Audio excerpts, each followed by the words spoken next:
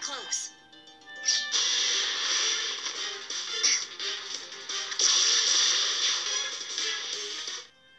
Am I ready? What can I do?